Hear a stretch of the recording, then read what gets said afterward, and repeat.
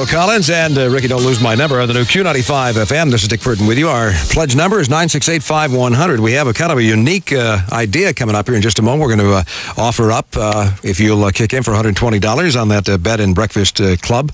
Bed and breakfast. Am I saying that right? No, Bed and bread. bread. I lost it. See that? you know what happens? Danny, does this happen to you on your show? You, you put the, the note somewhere else and then you forget what, what, what it's all about. No, I got the number. I need the Oh. name. Yeah, bed and bread. There it is right there, of course. Okay, back with Denny McLain, and we'll do that right after this. You know that a A little auction? What is that, Denny? Yeah, uh, when I uh, played baseball, although you know, I was just thinking my career batting average was 161. I, it's got to get you three, four hundred thousand a year now. Yeah, uh, yeah, forget sure the would, yeah. Pitching. I mean, you could make three, 4 uh, especially if they give you know Nokes uh, the 650. Mm-hmm. But anyway, I've got some baseball bats, and uh, we we should auction one of those Mm-hmm. off. They are absolutely. Pure. I mean, they have not been touched by. Certainly, I didn't touch much when I had them. Uh, Yeah, so, right. if anybody wants to bid on one of these bats, Uh-huh. and we'll be glad to, we'll autograph it. We'll put Matt Nokes' name on it or somebody. I love it. And any other name you want us to put Now, on it? is we'll this is this a bat that you used uh, during your major league This career? was it, it wasn't you know this thing isn't 20 years old. Mm-hmm. Bats that I would have used had I been able to hit anything with it. you know. I mean, I, got to remember when I reach Uh. y- these bat companies give you an awful lot every year. You know, they used to give us 20, 30 bats apiece.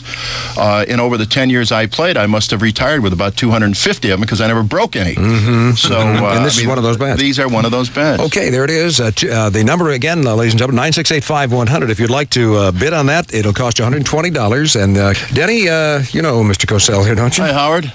Hello, Dennis. Thought you were dead, Howard. Oh, Dennis, I'm still around. I saw you at the basketball game the other day. You look terrific. Well, you know, I'm a sports commentator, but first and foremost, a sports fan. Well, I'm glad to hear that, Howard. Mm-hmm. And I must say, I'm a fan of yours, Danny McLain. The man, the legend, the superstar. Dennis, I will never forget the first time I ever saw you play. It was in a small lounge with you on stage playing some of my favorite songs on the organ. Yeah. I knew then this man was a great player who would definitely end up in the Organist Hall of Fame. Well, there's a lot of lines you can come out with that, eh, Denny? yeah, yeah, you yeah. could do it all. Everything from Proud Mary to the awe-inspiring tribute to Barry Manilow. Dennis Dale McLain, what bar are you working in?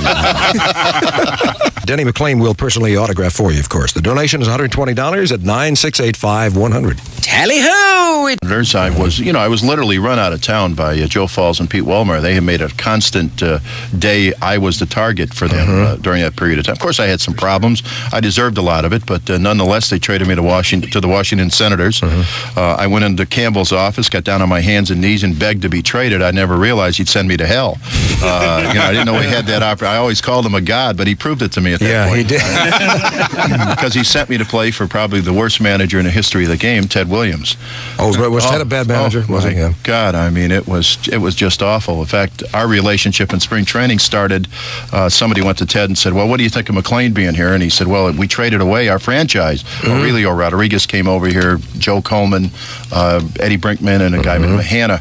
And uh, he said, "We traded away our whole franchise." And and of course, the reporters have a field day with a statement like that, so they immediately came running to me and said, "Well, what do you think of that?" I said, "I didn't realize they'd won the World Series last year." uh, so our our relationship that started badly quickly went into the outhouse very Sure, quickly. You know, I mean, it was it was we had such a bad ball club. We couldn't hit it, couldn't catch it, couldn't throw it, couldn't bunt it.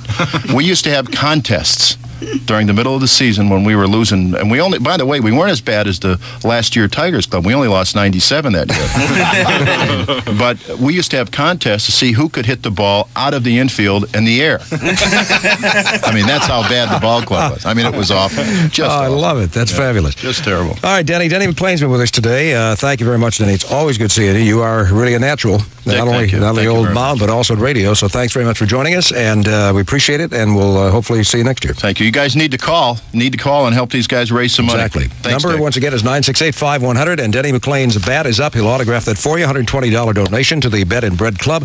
968-5100. Call right now, please. In this half hour, brought to you by the Comprehensive Health People.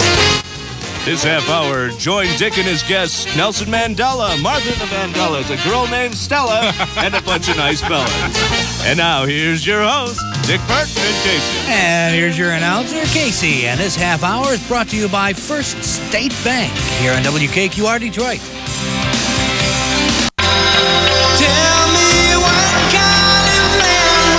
And Chicago, what kind of man would I be? The new Q95 FM. at 16 after 1 in the afternoon. Uh, we're going to be uh, continuing our talk with John Smyntek, uh, back page editor of the Detroit Free Press, right after this. All this uh, stuff with uh, Donald Trump and Ivana. What's the latest? Uh, who is the mystery lady and all that? Two words, Dick. Marla Maples. Okay, Marla Maples. Marla Maples. Okay, no, no. Tell me who Marla Maples. She's from Georgia, I've heard. A, and that's all I a- a Miss Georgia runner-up. Oh. I mean, it makes you wonder what Miss Georgia looks like. Boy, you do. want- No, wait a minute. Uh, Colleen Burcar. I read in the paper that the Miss America pageant said she was never in Miss Georgia. She was never part of the Miss Georgia or the Miss America pageant.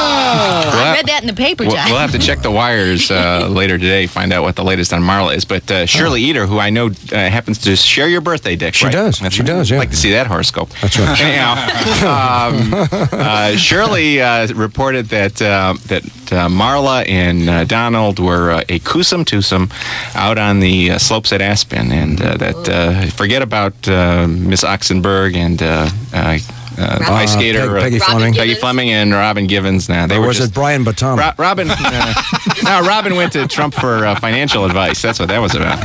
I see. That's how that worked.